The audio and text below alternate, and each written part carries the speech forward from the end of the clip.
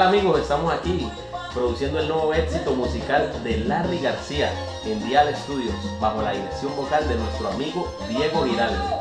Muy contento de poder participar en esta producción, este va a ser el primer tema, Larry García, salsa de Colombia para el mundo. Dice así.